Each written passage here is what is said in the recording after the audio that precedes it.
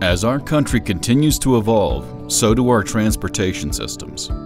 Thanks to the NECA IBEW Powering America team, Washington, D.C. now has the Frederick Douglass Memorial Bridge, an iconic structure that is binding the community together. Watch now on ETV.